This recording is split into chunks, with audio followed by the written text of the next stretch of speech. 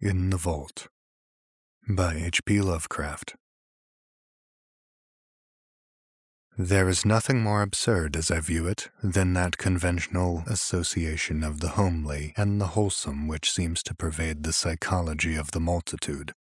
Mention a bucolic Yankee setting, a bungling and thick fibered village undertaker, and a careless mishap in a tomb, and no average reader can be brought to expect more than a hearty, albeit grotesque phase of comedy. God knows, though, that the prosy tale which George Birch's death permits me to tell has in it aspects beside which some of our darkest tragedies are light. Birch acquired a limitation and changed his business in 1881, yet never discussed the case when he could avoid it. Neither did his old physician, Dr. Davis, who died years ago. It was generally stated that the affliction and shock were results of an unlucky slip whereby Birch had locked himself for nine hours in the receiving tomb of Peck Valley Cemetery, escaping only by crude and disastrous mechanical means. But while this much is undoubtedly true, there were other and blacker things which the man used to whisper to me in his drunken delirium toward the last.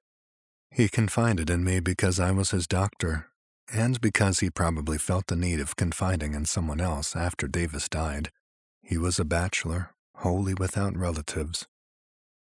Birch, before 1881, had been the village undertaker of Peck Valley, and was a very calloused and primitive specimen, even as such specimens go. The practices I heard attributed to him would be unbelievable today, at least in a city and even Peck Valley would have shuddered a bit had it known the easy ethics of its mortuary artist in such debatable matters as the ownership of costly laying out apparel invisible beneath the casket's lid, and the degree of dignity to be maintained in posing and adapting the unseen members of lifeless tenants to containers not always calculated with sublimest accuracy. Most distinctly, Birch was lax, insensitive, and professionally undesirable. Yet I still think he was not an evil man. He was merely crass of fiber and function, thoughtless, careless, and liquorish, as his easily avoidable accident proves, and without the modicum of imagination which holds the average citizen within certain limits fixed by taste. Just where to begin Birch's story I can hardly decide, since I am no practiced teller of tales.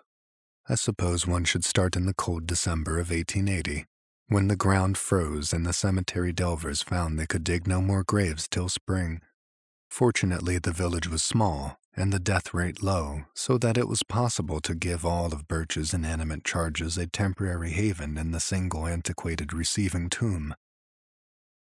The undertaker grew doubly lethargic in the bitter weather, and seemed to outdo even himself in carelessness Never did he knock together flimsier or ungainlier caskets, or disregard more flagrantly the needs of the rusty lock on the tomb door, which he slammed open and shut with such nonchalant abandon. At last, the spring thaw came, and graves were laboriously prepared for the nine silent harvests of the grim reaper which waited in the tomb. Birch, though dreading the bother of removal and interment, began his task of transference one disagreeable April morning, but ceased by noon because of a heavy rain that seemed to irritate his horse after having laid but one mortal tenement to its permanent rest. That was Darius Peck, the nonagenarian whose grave was not far from the tomb. Birch decided he would begin the next day with little old Matthew Fenner, whose grave was also nearby, but actually postponed the matter for three days, not getting to work till Good Friday the 15th. Being without superstition, he did not heed the day at all, though ever afterward he refused to do anything of importance on that faithful sixth day of the week. Certainly the events of that evening greatly changed George Birch. On the afternoon of Friday, April 15th, Birch set out of the tomb with horse and wagon to transfer the body of Matthew Fenner, that he was not perfectly sober, he subsequently admitted, though he had not taken to wholesale drinking by which he later tried to forget certain things. He was just dizzy and careless enough to annoy his sensitive horse, which, as he drew it viciously up at the tomb, neighed and pawed and tossed its head, much as on that former occasion when the rain had vexed it. The day was clear, but a high wind had sprung up, and Birch was glad to get to shelter as he unlocked the iron door and entered the side hill vault. Another might not have relished the damp, odorous chamber with the eight carelessly placed coffins, but Birch in those days was insensitive and was concerned only in getting the right coffin for the right grave. He had not forgotten the criticism aroused when Hannah Bixby's relatives, wishing to transport her body to the cemetery in the city whither they had moved, found the casket of Judge Capwell beneath her headstone. The light was dim, but Birch's sight was good, and he did not get Asaph Sawyer's coffin by mistake, although it was very similar. He had indeed made that coffin for Matthew Fenner, but had cast it aside at last as too awkward and flimsy, in a fit of curious sentimentality aroused by recalling how kindly and generous the little old man had been to him during his bankruptcy five years before. He gave old Matt the very best his skill could produce, but was thrifty enough to save the rejected specimen and to use it when Asaph Sawyer died of a malignant fever. Sawyer was not a lovable man, and many stories were told of his almost inhuman vindictiveness and tenacious memory for wrongs real or fancied. To him, Birch had felt no compunction in assigning the carelessly made coffin which he now pushed out of the way in the quest for the Fenner casket. It was just as he had recognized old Matt's coffin that the door slammed to in the wind, leaving him in a dusk even darker than before. The narrow transom admitted only the feeblest of rays, and the overhead ventilation funnel virtually none at all, so that he was reduced to a profane fumbling as he made his halting way among the long boxes toward the latch. In this funeral twilight, he rattled the rusty handles, pushed at the iron panels, and wondered why the massive portal had grown so suddenly recalcitrant. In this twilight, too, he began to realize the truth and to shout loudly as if his horse outside could do more than neigh an unsympathetic reply for the long neglected latch was obviously broken, leaving the careless undertaker trapped in the vault, a victim of his own oversight. The thing must have happened at about 3:30 in the afternoon. Birch, being by temperament phlegmatic and practical, did not shout long, but proceeded to grope about for some tools which he recalled seeing in a corner of the tomb. It was doubtful whether he was touched at all by the horror and exquisite weirdness of his position, but the bald fact of imprisonment so far from the daily paths of men was enough to exasperate him thoroughly. His day's work was sadly interrupted, and unless chance presently brought some rambler hither, he might have to remain all night, or longer. The pile of tools soon reached, and a hammer and chisel selected, Birch returned over the coffins to the door. The air had begun to be exceedingly unwholesome, but to this detail he paid no attention as he toiled, half by feeling, at the heavy and corroded metal of the latch. He would have given much for a lantern or bit of candle, but lacking these, bungled semi sightlessly as best he might. When he perceived that the latch was hopelessly unyielding, at least to such meager tools, and under such tenebrous conditions as these, Birch glanced about for other possible points of escape. The vault had been dug from a hillside, so that the narrow ventilation funnel in the top ran through several feet of earth, making this direction utterly useless to consider. Over the door, however, the high, Slit-like transom in the brick facade gave promise of possible enlargement to a diligent worker. Hence, upon this, his eyes long rested as he racked his brains for means to reach it. There was nothing like a ladder in the tomb, and the coffin niches on the sides and rear, which Birch seldom took the trouble to use, afforded no ascent to the space above the door. Only the coffins themselves remained as potential stepping stones, and as he considered these, he speculated on the best mode of transporting them. Three coffin heights, he reckoned, would permit him to reach the transom, but he could do better with four. The boxes were fairly even and could be piled up like blocks. So he began to compute how he might most stably use the eight to rear a scalable platform four deep. As he planned, he could not but wish that the units of his contemplated staircase had been more securely made. Whether he had the imagination enough to wish they were empty is strongly to be doubted. Finally, he decided to lay a base of three parallel with the wall, to place upon this two layers of two each, and upon these a single box to serve as the platform. This arrangement could be ascended with a minimum of awkwardness and would furnish the desired height. Better still, he would utilize only two boxes of the base to support the superstructure, leaving one free to be piled on top in case the actual feat of escape required an even greater altitude. And so the prisoner toiled in the twilight, heaving the unresponsive remnants of mortality with little ceremony as his miniature Tower of Babel rose course by course. Several of these coffins began to split under the stress of handling, and he planned to save the stoutly built casket of little Matthew Fenner for the top, in order that his feet might have as certain a surface as possible. In the semi gloom, he trusted mostly to touch to select the right one, and indeed came upon it almost by accident, since it tumbled into his hands as if through some odd volition after he had unwittingly placed it beside another on the third layer.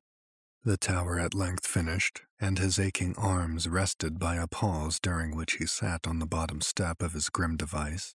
Birch cautiously ascended with his tools and stood abreast of that narrow transom, the borders of this space were entirely of brick, and there seemed little doubt that he could shortly chisel away enough to allow his body to pass.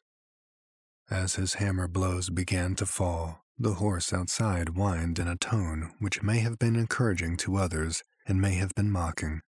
In either case, it would have been appropriate, for the unexpected tenacity of the easy looking brickwork was surely a sardonic commentary on the vanity of mortal hopes and the source of a task whose performance deserved every possible stimulus. Dusk fell and found Birch still toiling. He worked largely by feeling now, since newly gathered clouds hid the moon, and though progress was still slow, he felt heartened at the extent of his encroachments on the top and bottom of the aperture. He could, he was sure, get out by midnight, though it is characteristic of him that this thought was untinged with eerie implications, undisturbed by oppressive reflections on the time, the place, and the company beneath his feet. He philosophically chipped away the stony brickwork, cursing when a fragment hit him in the face, and laughing when one struck the increasingly excited horse that pawed near the cypress tree. In time, the hole grew so large that he ventured to try his body in it now and then, shifting about so that the coffins beneath him rocked and creaked. He would not, he found, have to pile another on his platform to make the proper height, for the hole was on exactly the right level to use as soon as its size might permit. It must have been at least midnight when Birch decided he could get through the transom. Tired and perspiring despite many rests, he descended to the floor and sat a while on the bottom box to gather strength for the final wriggle and leap to the ground outside. The hungry horse was neighing repeatedly and almost uncannily, and he vaguely wished it would stop. He was curiously unelated over his impending escape and almost dreaded the exertion, for his form had the indolent stoutness of early middle age. As he remounted the splitting coffins, he felt his weight very poignantly especially when, upon reaching the topmost one, he heard that aggravated crackle which bespeaks the wholesale rending of wood. He had, it seems, planned in vain when choosing the stoutest coffin for the platform, for no sooner was his full weight upon it than the rotting lid gave way, jouncing him two feet down on a surface which even he did not care to imagine.